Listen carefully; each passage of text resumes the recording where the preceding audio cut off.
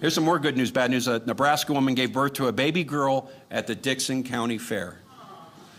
The bad news, she got a fourth place ribbon behind two pigs and a goat.